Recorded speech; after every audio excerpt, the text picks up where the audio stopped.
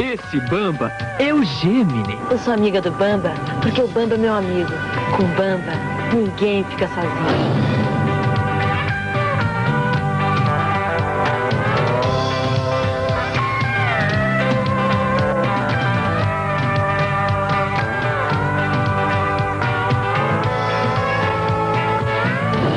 Para aguentar o nosso dia a dia. Bamba, só Bamba.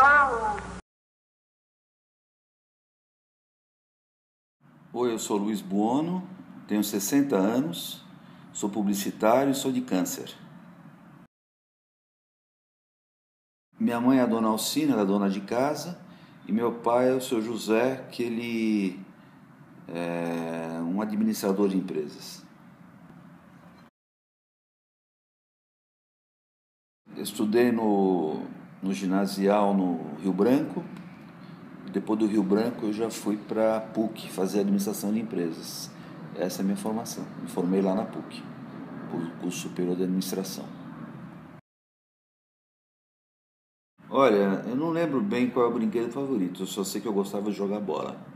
Jogar futebol era comigo mesmo, adorava jogar futebol. Atualmente eu só tomo um Todd, leite com Todd, é, e ponho um pouco de aveia, mais nada.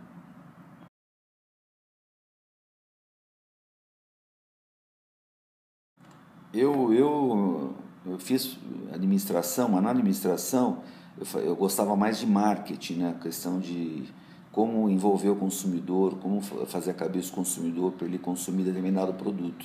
E isso eu fui, fui gostando, fui me apaixonando. Aí eu comecei a assinar a revista Propaganda, propaganda de marketing, eu lia de cabo a rabo e aquilo foi me encantando. Então, tudo que eu pudesse fazer para deixar uma marca bonita, uma marca desejada pelo consumidor, foi uma coisa que acendeu dentro de mim. E aí eu acelerei publicidade e não parei mais. Ah, meu, meu tempo na PUC foi bem legal, porque o primeiro ano na PUC é básico, né? então não, não é técnico. Então ele fala de problemas do homem contemporâneo, antropologia, psicologia, que é um negócio que eu gosto também. Então isso foi uma coisa que me encantou e ali não é um universo que você só respira publicidade. No começo você respirava momentos políticos. Como é uma universidade, a PUC tinha várias cabeças, vários tipos de pessoas. Isso eu achei muito legal. E só depois, assim, no decorrer do curso, que eu fui é, cada vez mais acelerando para o marketing, porque dentro da administração tem marketing, e aí puta, quase que não gostava das outras matérias, só gostava de marketing mesmo, e aí eu fui avançando. Mas a PUC foi muito legal porque deu uma base boa, não só de publicidade, mas de humanismo em geral. Né? Professores no, no Rio Branco, eu tive um professor Torquato de de português, que ele basicamente ele era um cara que é, trazia para as aulas é, coisas contemporâneas, peças de teatro, peças de cinema. Então a aula dele era uma, uma, uma diversão, um entretenimento, então por isso que era muito legal. É, na, na, PUC eu tive um professor de contabilidade, Pascoal Rauti, que era um cara muito engraçado, então na área técnica você não encontra muito cara divertido assim, ele era muito engraçado e muito didático e sarcástico para dar aula, então eu gostava muito. E tinha o professor Cordeiro de marketing, que era um, um, um cara que me inspirou muito, o cara gostava demais, trabalhava na Johnson Johnson, e então eu, ele era um cara que tinha experiência prática, não era só teórico, que me marcou muito. Esses são os três caras que mais me marcaram assim na, na, na vida. Ah, minha primeira agência foi a, a, a Thompson. Comecei na mídia, foi onde consegui entrar em agência. Puta, me encantei, porque era a década de 80, o auge da mídia de massa, começando a falar com moleque, ficava todo orgulhoso de falar com a Globo, abrir o Record e tal. E nessa época era São Paulo Apargatas que era o cliente, Havaianas, Topper, é, Raider, Raider não, Topper, é, Bamba, enfim, foi muito legal. Depois eu passei para o atendimento na própria Thompson e também continuando a atender Alpargatas. Então, minha primeira escola foi Alpargatas. Teve uma origem, a fábrica teve origem num birô de criação. É, eu tinha dois sócios, o Cid e a Marisa, ela redator, ele diretor de arte, que eles tinham alguns clientes pequenos e também terceirizavam para agência grande quando a criação estava sobrecarregada, né? E, e aí quando eu cheguei lá, bem no comecinho também, em 97, é, o Banco Itaú nos procurou e querendo fazer um trabalho de marketing direto. A Marisa, minha sócia, adorava marketing direto. Aí a gente entrou no Itaú, deu super certo. E a partir do Itaú, ele apresentou para a gente a Itaú Seguros, depois veio o telefone, aí a agência decolou. E não mais como birô de criação, mas como uma agência de marketing direto. E isso vem até hoje. Né? Óbvio que o marketing direto mudou muito. Hoje tem o digital dando um turbo no marketing direto, tem o BI, Big Data, está influenciando muito. Mas a nossa veia é conversas dirigidas, conversas segmentadas com mensuração de resultado. Então esse foi o caminho.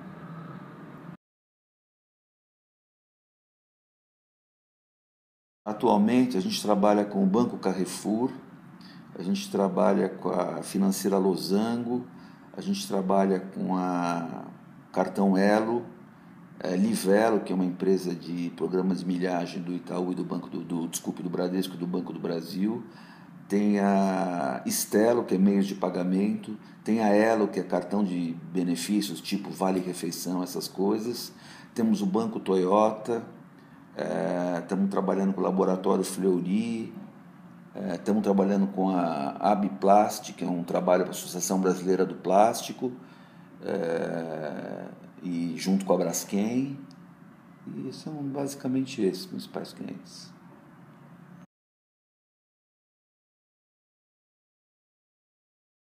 Eu diria que eu me divirto muito no trabalho. Eu trabalho das 10 da manhã às 5 da tarde, direto. É, eu não, quase que não almoço aqui do ladinho, então é muito rápido e eu gosto de dar essa esticada, assim, eu gosto de dormir até mais tarde, então eu chego às 10 e vou embora às 5, eu gosto de fazer ginástica no final do dia. E durante o dia é, eu adoro ficar é, marcando reunião com o cliente, indo nas reuniões que a gente marca para é, fazer contribuição estratégica, dando palpite nas campanhas, é, marcando encontro com pessoas para discutir o mercado, discutir carreiras. Eu gosto de ficar andando pela agência, ajudando as pessoas a crescerem, é, ver o que está atrapalhando no dia a dia da pessoa, ver se eu posso ajudar, desenrolar problemas, desenrolar questões que estão atrapalhando as pessoas. Né? Eu gosto de montar equipes, eu gosto de ver a equipe fluindo, feliz, se divertindo. Eu fico quase que eu sou um zelador do astral, um guardião do astral. Eu fico o tempo inteiro é, é, procurando que o astral flua. E me informam muito pela internet para ver tendências, eventos. E sempre me relaciono na internet para a gente fazer novos negócios a partir do que eu estou vendo no mercado. Então, esse é muito meu dia a dia e, e, se relacionar, né? Se relacionar tem muito a ver comigo. E de noite também, depois de fazer a ginástica, jantar, eu volto para o computador para dar uma, uma carguinha final. Mas não sinto que é um trabalho, sinto que é uma diversão.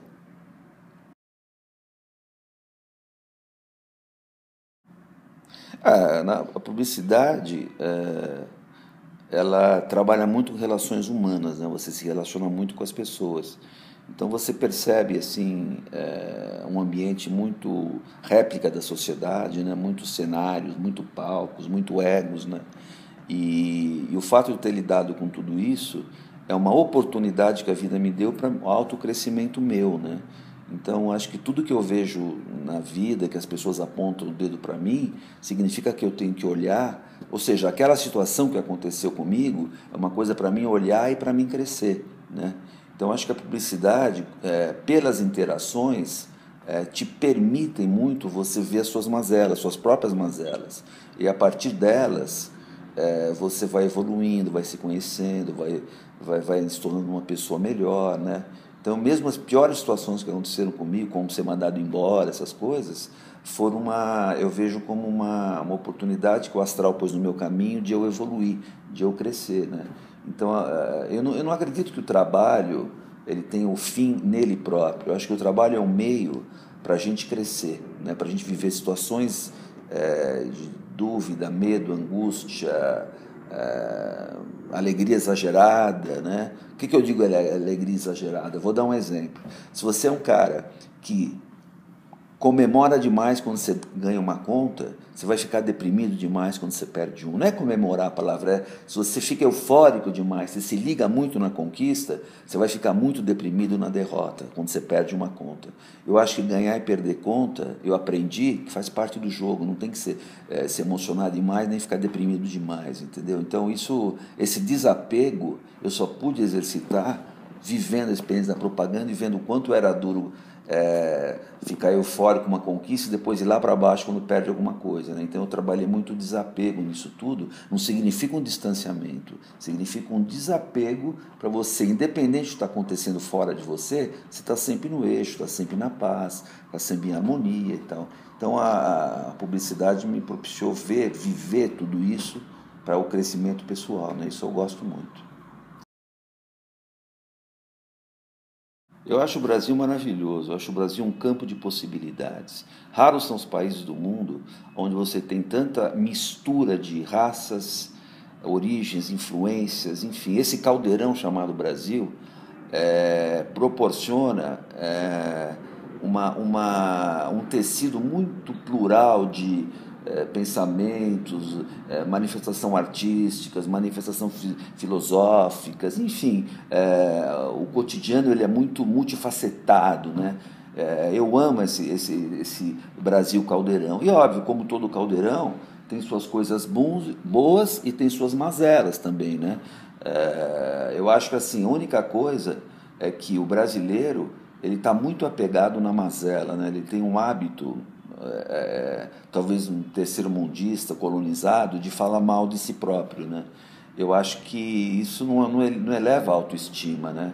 É, isso não é bom. Agora eu estou vendo a Olimpíada, está sendo bom para o Brasil, está elevando a autoestima, está mostrando um Brasil alegre, feliz, divertido, né?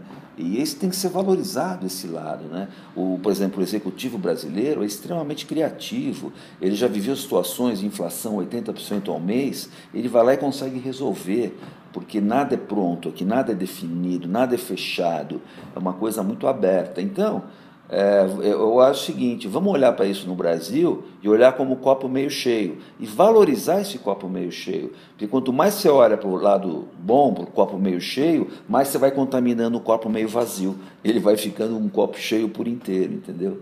Então eu acho isso. O Brasil, o Brasil é muito legal é um estilo de vida. O Brasil é um estilão, é natureza, é praia, é campo, é agricultura, é indústria, é comércio, é povo cordial, povo bom, povo que não é esta ou aquela raça, é povo do mundo. E tem que acreditar nisso, olhar para esse lado. Acho que o, o óculos que o brasileiro põe para se ver não é legal. Ele podia pôr um óculos mais legal, porque aí ele, ele ia ter uma autoestima melhor. E quem tem autoestima vai para frente. Por quê? Porque nós somos átomos. Átomo, o que, que é? Energia. Se você tem uma boa autoestima, você está trazendo energia positiva para o teu corpo. E aí você vai fluir. Não precisa ser um cara rei do conhecimento. É, para mim, o progresso não está no conhecimento, está na energia positiva. Porque você pode ser um, um, um país, um lugar cheio de conhecimento, mas se não está vibrando numa alegria, esse conhecimento não vai gerar abundância para a vida, para as relações e tudo mais. Então, o Brasil já tem essa alegria no seu íntimo, ele tem que acreditar nela, se ancorar nela, se pegar nessa alegria, porque na hora que você entra na positividade, tudo flui, tudo rola. E isso que o Brasil precisa. Minha play, playlist atual está muito aberta, porque eu estou muito viciado no Spotify, e o Spotify me traz coisas novas o tempo inteiro, né? É, mas eu tenho uma, uma, uma música gravada na minha memória, da Maria Bethânia, num show de 70 no Tuca, lá na PUC, ah, esse cara tem me consumido a tudo e aquilo que eu quis, com seus olhinhos infantis, como os olhos de um bandido, que é pura poesia, que eu gosto muito, né? Agora, fora essa pura poesia, tem um, um cara que não pode sair do meu, do meu radar, do meu, da minha playlist o tempo inteiro, que é Pat Metheny. Pat Metheny, cada um fala de um jeito, mas é um cara que ele tem magia no som. Eu gosto de magia. Ele tem um som viajante, Ele tem um som calmo, suave e ao mesmo tempo te transporta para mundos de positividade, para mundos de paz, de alegria. Então, Pat Metini sempre tem que estar presente na minha. E quando eu vou dormir, tem um cara que é imbatível, é Paul Horn, é um flautista americano que ele já tocou no Taj Mahal, já tocou no Mountain Valley, já tocou na, na naquele, nas, nas pirâmides do Egito, que é um som mágico para você entrar em estado de vigília e depois partir para o mundo dos sonhos. Então, esse para mim é o, é o meu caminho musical.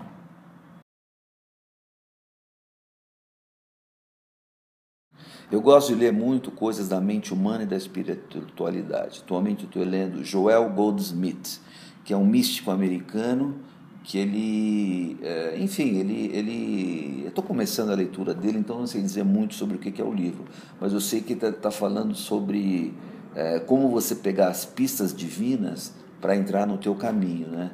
E o grande cara que mudou minha vida e que mais me influenciou no meu pensamento filosófico sobre a vida é o Eckhart Tolle. É um, é um também um místico americano que ele foi monge lá no, no no Himalaia, voltou para os Estados Unidos e ele foi o primeiro cara que começou a me mostrar exatamente o que é eu e o que é minha mente e separar as duas coisas, porque quando você mistura a mente e o eu, você fica completamente perdido.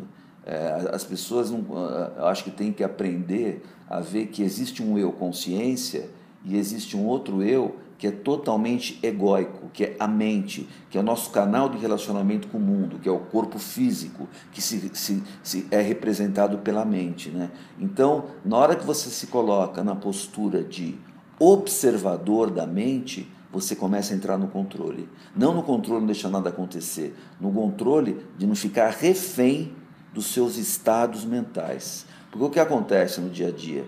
Uma hora você está extremamente feliz, extremamente triste, com medo, com angústia, com ansiedade, com raiva, depressão. Tudo, tudo isso são estados mentais, não são você. Você é a consciência que observa esses estados mentais. E eu vejo na rua todo mundo contaminado pelo estado mental e nem sabe mais qual é o estado original dele. Por isso que eu gosto muito da meditação, para você treinar se observar. Porque quanto mais você treina se observar, mais você treina o observador dentro de você. Você não fica refém, você percebe quando o estado mental vai te pegar, então você não fica refém dele. Eckhart Tolle é o nome do cara.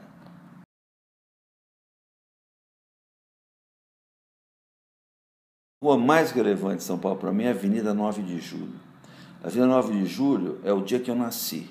A Vila 9 de Julho é onde fica meu escritório. A Vila 9 de Julho é de onde tem a vista da minha sala para São Paulo, que ninguém conhece, que é a São Paulo verde, totalmente esverdeada. E a Avenida 9 de Julho, se você caminhar por ela, ela não é São Paulo. Ele é um boulevard arborizado, romântico, é, onde a, a loucura acontece nela, mas ela não é a loucura. Ela que harmoniza a loucura, ela traz paz para a loucura é, um, é uma selva dentro de São Paulo. É um exagero, mas vai ver o que tem de árvore na 9 de julho, e você vê as casas na marginal da 9 de julho, entre a, a bandeira paulista e a, e a, e a, e a Groenlândia, é, são casas maravilhosas, coladinhas às árvores, fala, puta, que coisa linda, parece que eu estou num estado interior. E isto é a 9 de julho, então eu me identifico muito, é, por isso para mim é, é a avenida. Para mim, a publicidade é a intersecção entre a arte e a espada. Por quê? É, cada vez mais ela precisa ser arte no sentido de envolver, entreter, tocar os sentidos, fazer as pessoas se deleitarem com o que estão vendo. É, puro entretenimento. Por outro lado, ela é espada, porque no mundo atual, se você não traz resultado, não mede resultado, não vê eficácia, não vê eficiência, você não vai conseguir conquistar cliente nenhum porque hoje as empresas estão muito na ponta do lápis. É, então, só que não mais com aquela comunicação na ponta do lápis. Como é que era a comunicação na ponta, ponta do lápis? Comunicação de vender atributo de produto. Eu lavo mais branco por causa disso, eu sou mais bonito por causa disso, eu sou mais cheiroso por causa disso. Não. Hoje o consumidor não quer ninguém falando, a marca falando dela própria. Ela quer a marca dançando com ele, interagindo com ele, trazendo coisas gostosas, experiências boas, momentos gostosos para o consumidor. Por isso que ela está caminhando para a arte. Mas volto a dizer, antigamente não tinha espada, que é a mensuração. Hoje, com as empresas no mundo globalmente competitivo, o resultado é fundamental. Não há mais é, recurso abundante, o recurso é escasso. A globalização trouxe isso porque todo mundo veio para o mercado. Quem estava exilado, do mercado, alijado do mercado, o povo alijado, entrou. Entrando todo mundo, o mercado ficou hiper competitivo. E aí você precisa muita eficácia. Então hoje você vai numa empresa, se não leva um plano de métricas de mensuração, você está morto. Ao mesmo tempo, se você não leva um diálogo, uma conversa do coração para falar ao consumidor, você também está morto. Por isso que a intersecção entre a arte e a espada. Na verdade, eu acho que eu estou aprendendo a ler até hoje. Por quê? Porque leitura não é o que está escrito. Leitura é a lente que você lê, é a cabeça que você lê. Se você tem uma cabeça preconceituosa, você está lendo com preconceito tudo. Então, eu estou aprendendo a ler até hoje. Para mim, aprender a ler é derrubar barreiras mentais, olhar, ler sem julgar vê a experiência, porque na hora que você julga, você enquadrou, encaixou, encaixotou. E tudo que é encaixotado é velho. O único jeito de se evoluir é derrubando as barreiras mentais, é, trocando óculos todo dia, tirando óculos e procurando ver o que é de verdade. Então, quase que, por exemplo, aprender a ler é a mesma coisa que aprender a se olhar no espelho. Porque se olha no espelho, você vê uma coisa, mas se você olhar um pouco mais fundo, você vai descobrir um monte de coisa que você não está querendo ver. Então, para mim é isso. Para mim, ler é olhar no espelho.